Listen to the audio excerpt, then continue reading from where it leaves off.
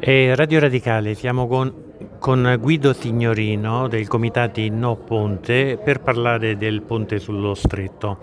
Come tutti sanno, eh, in eh, Commissione Trasporti e Ambiente è all'esame un decreto per la rinascita della società Ponte sullo Stretto che ha provocato tante eh, polemiche.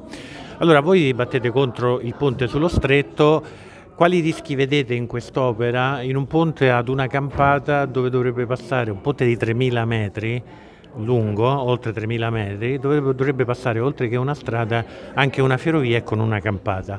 Allora, quali sono i vostri elementi di preoccupazione in base alla rinascita di questa società? Eh, dunque, il fatto è che eh, per fare un'opera pubblica, per fare un'infrastruttura di trasporto, eh, non è sufficiente che ci sia un'idea, come dire, eh, bella, affascinante, affabulante, eh, occorre che sia verificata la reale utilità di questa opera. Ora, nel caso del ponte sullo stretto di Messina, la bella idea tecnica che alcuni tecnici ritengono impraticabile anche sotto il profilo strettamente costruttivo, in realtà sarebbe totalmente eh, controindicata il ponte per poter stare in piedi dal punto di vista economico e finanziario e il costo del ponte è qualcosa di ancora totalmente indefinito, avrebbe bisogno di un, di un fatto tecnico che va contro le priorità eh, trasportistiche dell'Unione Europea. Avrebbe bisogno cioè che i transiti sullo stretto di Messina e sul ponte lievitassero in maniera indefinita, fino a raddoppiare nelle previsioni del ponte passando da 4 a oltre 8 milioni di mezzi da trasportare. Ora questo è esattamente l'opposto di ciò che diciamo, è utile alla rete dei trasporti nazionali. L'88% del, delle merci attualmente in Italia viaggia sui camion, viaggia su mezzi gommati e questa percentuale deve diminuire perché gli obiettivi trasportistici sono la riduzione del trasporto gommato e diciamo, l'incremento dei trasporti alternativi che sono il treno e soprattutto le autostrade del mare, il, lo cosiddetto short shipping. Il ponte va in controtendenza, quindi sotto il profilo ambientale non è soltanto la devastazione delle aree che mostra. Quante case verrebbero abbattute? Eh, migliaia, migliaia di case tra due città e sarebbero decine di migliaia. Il, il numero è maggiore in Sicilia? Il numero è maggiore in Sicilia perché eh, diciamo, la, la, la, la, rete di costruzione del, dei, eh, della viabilità e della ferrovia di accesso al ponte è molto più invasiva.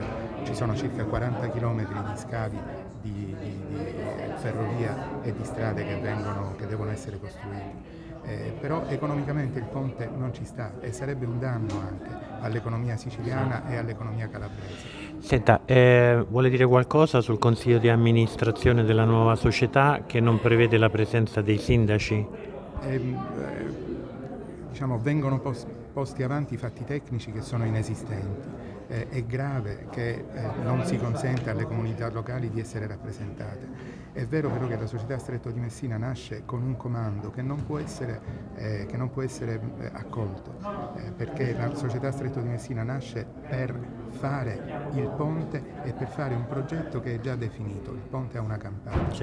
Questo certo. punto, è, per cui non sarebbe condivisibile l'oggetto sociale e non lo è ancora dal punto di vista tecnico perché la, la, l'analisi costi-benefici che è stata fatta del, sul ponte, che risale al 2002 e non è stata aggiornata, eh, è stata fatta male, è tecnicamente irricevibile perché confronta il ponte con se stesso. Senta, regge una ferrovia su un ponte di 3.000 metri considerando il caso del ponte di Akashi?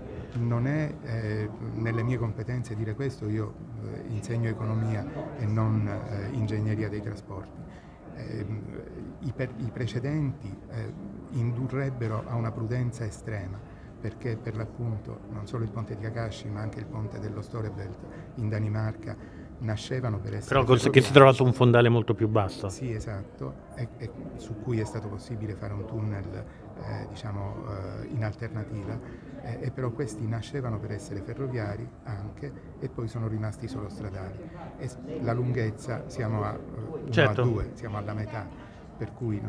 Eh, ma eh, ci sono altri problemi diciamo, sotto il profilo costruttivo eh, che sono stati avanzati, cioè il problema della snellezza del ponte eh, per cui eh, in lunghezza la struttura ha bisogno di essere sempre più ampia per sostenere il peso ma a questo punto un peso eccessivo per una lunghezza così grande rischia di far crollare il ponte. Il ponte potrebbe non reggere se stesso, certo. questo lo dice Federico Mazzolani che è eh, diciamo, il caposcuola del, della ingegneria dei materiali e delle costruzioni eh, in Italia.